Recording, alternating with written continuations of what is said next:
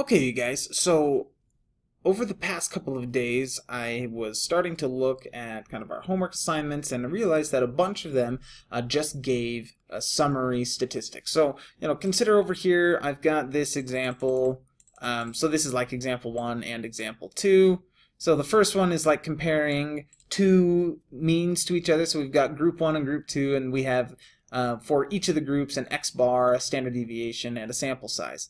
And currently how R Commander is running, uh, the only way to like really do this well in R Commander is if we have the raw data. But sometimes we are just given the summary data. And so what I had been having you do is actually go through kind of our um, our flow chart, figure out which equations that we should do and manually calculate it. And I decided that that was kind of like way over the top. So I started diving into our R Commander to see if there was a menu that I had missed. Uh, I started looking at other pieces of code. Anyways, long story short is that I found a plugin for R Commander for when we're doing our hypothesis testing, when we're doing like two sample or one sample t-test or z-test, um, that will let us actually do the calculations with summary data instead of the raw data. So what you're going to have to do is go ahead and open up RStudio. And inside of RStudio, uh, you can go ahead and click on packages. And this is where we normally go and we like click on our R Commander uh, to open up R Commander and it goes ahead and works. All right, you need to install an additional little package here. So go click on install and you're going to type rcmdr and then plugin plugin dot and then nmbu and we've got this plugin right here. You're going to click on it click the install dependencies if it's not clicked and then click install. So I already have mine installed but you click install you follow the install package uh, and you should be good to go. Now when you go down to your R Commander, you're going to have these three R Commander uh, packages now. You got the original R Commander, ArcCommander Miscellaneous, and R Commander Plugin.nmbu. So it's a plugin for university level applied statistics. Instead of clicking on R Commander, this time we're going to click on R Commander Plugin. Go ahead and click on it.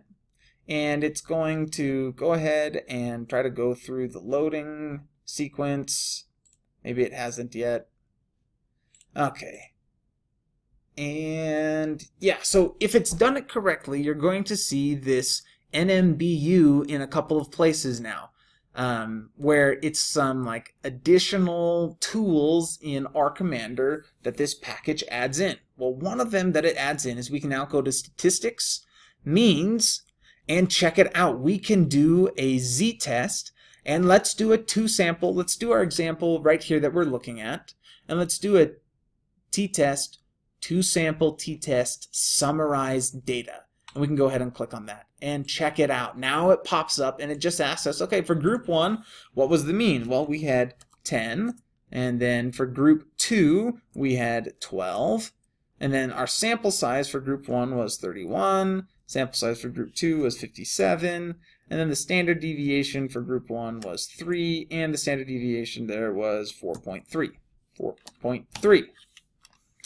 Okay, and if we think that there actually is a difference, mu1 minus mu2, we can put it in uh, if we want to, uh, but we, we don't need to at all because for our class we're just going to go with the baseline assumption. And then we can say, okay, do we think that is there a difference? Is one greater than the other? Is one less than the other? And then for our confidence level, you can adjust it and you can say, do we want to assume equal variances or not? Now, in the uh, in the homework section right now, it, uh, if it's um, how math is covering it is if it doesn't say to assume equal variances that you don't assume equal variances. Um, but we also have kind of our rule of thumb. Um, remember that if the large sample standard deviation is less than or equal to two times the small sam sample standard deviation, uh, that we can assume equal variances. But just so you're not so lost on the homework, for the homework, if it doesn't say assume equal variances, don't assume the equal variances. Okay, and then look, we can just go ahead and click OK. And I can come over to my RStudio, and check it out. So it does my two sample t-test, it gives me my t-score, my degrees of freedom, my p-value, gives me my alternative hypothesis, true difference in means is not equal to zero, and it gives me my confidence interval, and it gives me my differences. So check it out. Like that was super easy for how to do uh, a two sample uh, t-test for independent uh, means. And so that was without equal variances. Now let's go ahead and say, uh, let's do the exact same thing again. Two sample. So we have to type it in again. No big deal. So it's 10, uh, sorry, 10, 12, 31, uh, what is this? 57, 3, and 4.3. And let's say we assume equal variances this time, and we click OK. And we come down here, now we've got a two sample t-test, and we assume that, look, we can say the variances are true, and this gives us a alternative way to do our calculations. And you notice they're a little different, the t-scores are a little different, the degrees of freedom are a little different, the p-values are a little different. Uh, but that's how you would go through and do the two sample um, two sample test of the means. Now, if we just have the summary data for um, for a difference for like our matched pairs, uh, remember we can consider that as just like a one sample t-test. And we could put in, this would be the mean of the differences, the total number of samples, and the standard deviation of the differences for that matched pair. So we can do matched pairs in here with summarized data too. So the last one that I want to do is covering how we do our uh, summary data for a um, oh, for two proportions. So here I've got this group one and group two, and we have something that we're interested. So maybe this group one group two is like men and women, and did you vote or not? And so of the men, 100 said that they voted, 145 said they did not. Group two of the women said like 132 said yes they voted, and 200 said they're not. And we want to compare are the proportion of people of men who voted different from the proportion of women who voted. Okay, and so, you know, if we look at the sums, like the total number of group one, let me just do a sum real quick.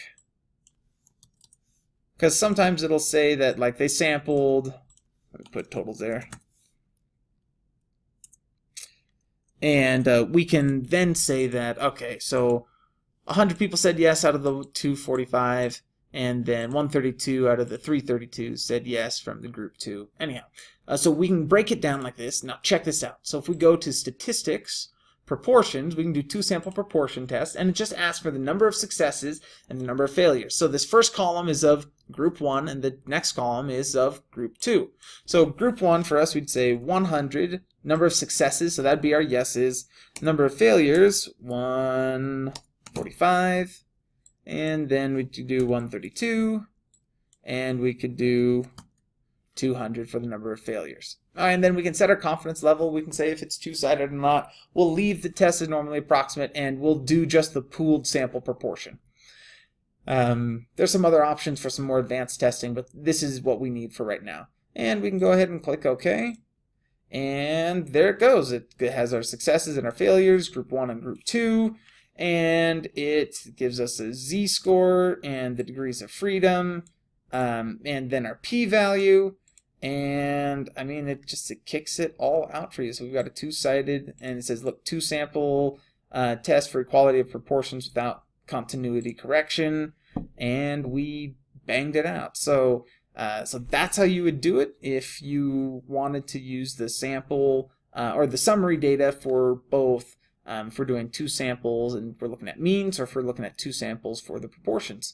So hopefully that that helps you out. I apologize that I did not get this out sooner. I didn't know about this whole package until I really started diving into it.